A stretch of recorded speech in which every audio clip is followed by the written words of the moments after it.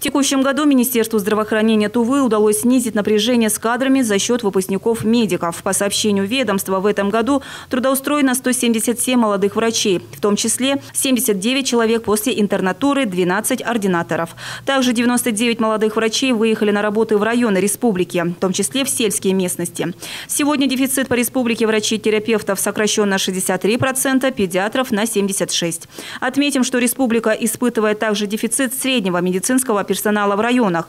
В текущем году Республиканский медицинский колледж выпустил 169 специалистов среднего звена, из них трудоустроено 111 человек. Из них 25 выпускников продолжили обучение в вузах страны.